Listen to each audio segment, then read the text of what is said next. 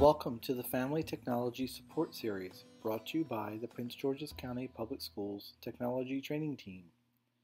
In this video, we will show you how to locate Clever on the PGCPS homepage and how to log into Clever.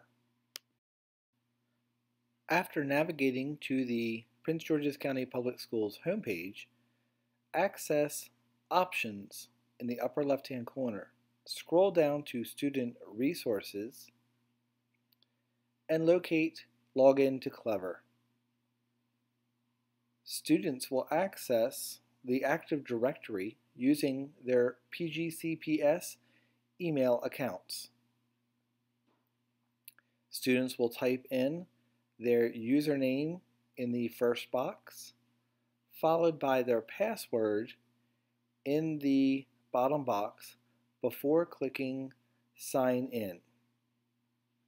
Once students have signed in to Clever, they will have access to email, Zoom, and Classroom.